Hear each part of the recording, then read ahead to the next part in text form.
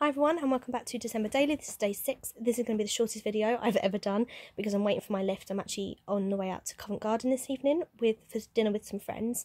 But I went to House of Fraser today and they've got a sale on their Christmas decorations and I didn't want you to miss out if you did want to pop over over the weekend.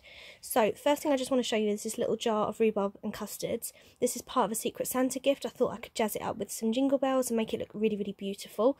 So that was £6 and I picked up these really beautiful like snowflake ornaments. There was only one left in silver. There was loads of green left. I picked up one silver, two green. These were £6 each. Then we picked up two of these angel wings. Um, they, as you can see, are on sale for £3. So we picked two of those up. We picked up a set each of the rose gold snowflakes and of the silver snowflakes. Um, they did have gold as well. I didn't like the gold. They're a different shape, so we didn't pick them up. And they're on sale at the moment for £6 instead of 8 And also we picked up this little pack of Gisela Graham candy cane ornaments. And they actually look really, really beautiful. Um, and they were £8 and they're currently on sale for £6. So we didn't actually pick up very much when we were in there.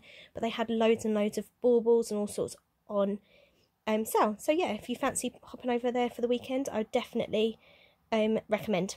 Thank you everybody for watching. I think my lift is here, so I'll see you again soon. Bye bye.